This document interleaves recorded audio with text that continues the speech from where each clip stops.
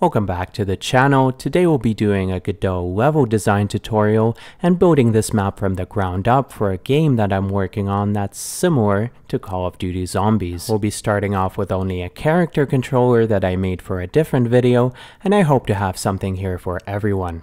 I'll try to make it as beginner friendly as possible, so tag along for the ride. So we're starting off with a simple scene with just a player and a CSG box for the ground. As the first step, let's increase the map size to 100 by 100 and then find a ground texture for our game. After some googling, I found this nice cartoon texture and plugging it in is only a matter of creating a new material for our ground CSG box and dragging it to the texture setting in the albedo section. Right now the texture is stretched to fit the entire box, so let's turn on the triplanar setting in UV1 so it's repeating instead. That's our ground done and it's time to start laying the map out with some models. For this map we'll be using the graveyard kit from Kenney Assets that he's kind enough to provide for free for everyone to use. This pack comes with all of the models in a variety of formats but glTF is by far the easiest to use with Godot. Let's create a folder for our models in the project and one for the first model we're going to put in, the crypt. After that we can start dragging the models that we want to use into the project to import them. Our crypt is going to be made out of three models from the asset pack,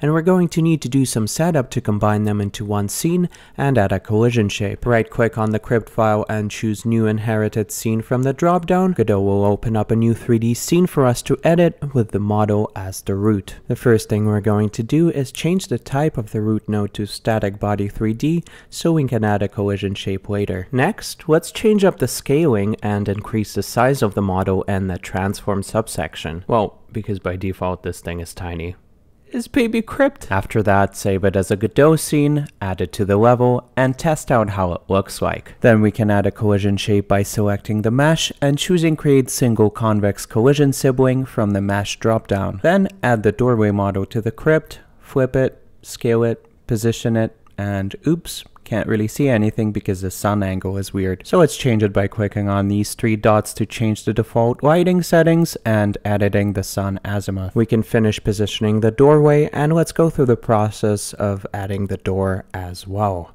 Again, drag it, flip it, scale it, and then position it with the rest of the models. Now we can edit the colors of the materials on the models to make them a bit more spooky. For this, go into the surface material override subsection on the mesh and add a new material to the material override. In the albedo section, we'll set the color of the mesh to this dark gray. We're going to want to go through the same process for the door, but to have access to the mesh inside of the crypt scene, make sure to right click on it in the scene tree and select the make local option. This ensures that we have access to all of the children of the node that we dragged into the bigger scene. On the door itself, you'll notice that we have two materials that we can override because there's a door frame component and a glass component to it. And with more complex models that you may like to import, the artists will often have even more material materials that you can customize. On the door glass material, we're not only going to change the color, but also add some light emission to the material. This way it will look like there's a spooky green light coming from inside the crypt. After that, we'll set the color albedo as well, and our crypt is done. Let's check it out inside the level. I want this crypt to be the centerpiece of the level, so we'll make a pavement going around it that leads to other parts of the graveyard. The asset pack has a road model, and we'll make a Godot scene for it as well, not because because we want to add a collision shape or anything, but because I want to change up the scaling and the color of it. When we're happy with how it looks, we can start weighing the road out. In this case, it's going to be a lot of copy pasting and probably more than 100 models of the road inside the level, so it's probably a good idea to keep it organized by creating a container node 3D to parent them to. After finishing the road, do a quick victory lap around it. And let's work on adding some walls around the crypt. Here the process is mostly the same, except we have a couple of models that we are going to use the same materials for. So after we're done creating those materials, we can save them in the project folder and then just drag and drop them when we need to use them for a different model. In the case with these walls, rotating them unfortunately messes up the alignment with the rest of the models, so some position fine tuning by hand is necessary. Now that the wall is complete, I think it's time to focus on the other parts of the map for a bit. For the purposes of the tutorial, a lot of the work I'll be doing here, like adding collision shapes and materials is going to be redundant, so I'll be skipping over parts where I don't have anything new to add. The collision shapes on these graves are interesting though because we usually want a simple shape to improve performance, and we just use a single convex collision sibling created from the mesh.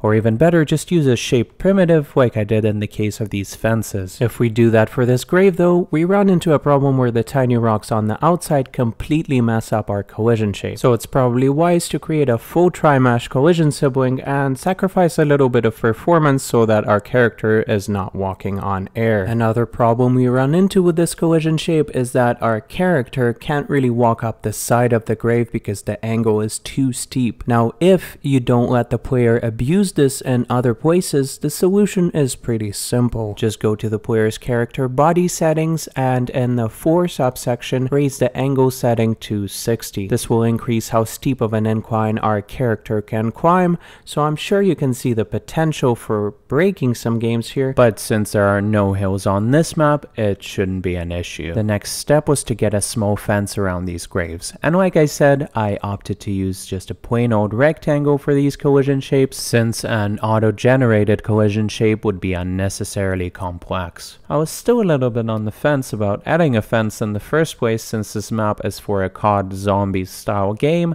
and I didn't want to restrict the player movement too much. But eventually I figured adding a bunch of gaps would solve the movement problem and keep the intended design intact. Now that the right side of the map is done, I'm about to impart some level design wisdom on you. Don't do something twice when you can do it once.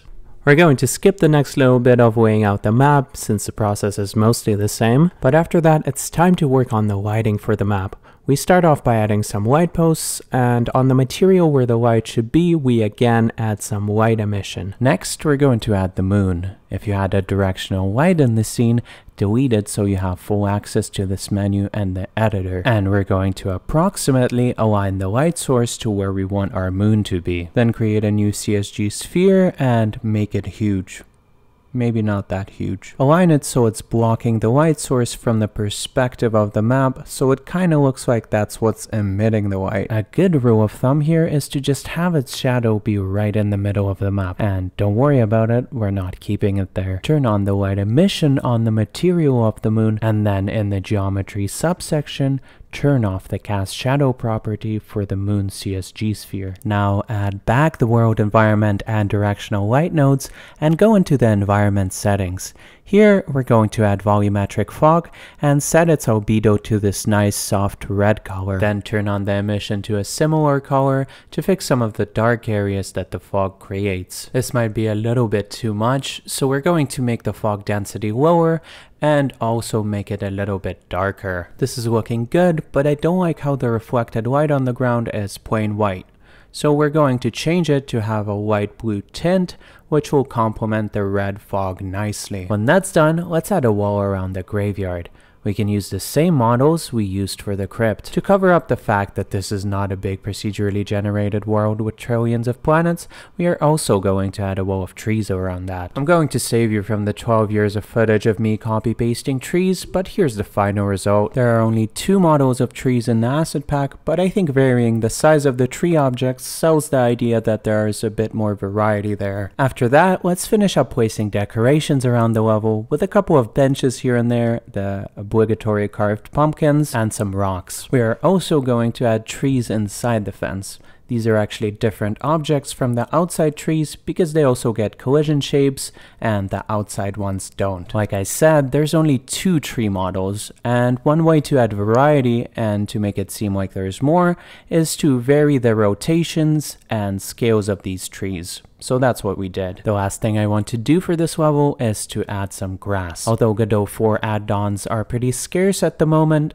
Thankfully, there's one for it. So we're going to go into the asset library, download it, install it, and then go into the plugins section in project settings and make sure that it's turned on. Then when we go to create a new node in the level, there's an option for simple grass textured. We're going to plop down a bit of grass and then mess around with its albedo and with the materials of our trees to make sure that they match each other nicely. And let's take a look at the tools that come with this add-on from left to right. First we have our brush size setting, the second one is how many grass objects are spawned with each click of the brush, and finally we have the scale of the grass objects we're spawning. Let's start weighing it out. Just like with the trees we want to vary the scale of grass in different places, so naturally our grass will be taller around decorations. An issue that I ran into was that the big collision shapes on the lampposts were messing with the grass terrain snapping, so I made sure to turn off the collision on them before I placed the grass around. After that, I lowered the scale of the grass and went around with the brush, adding it in general areas.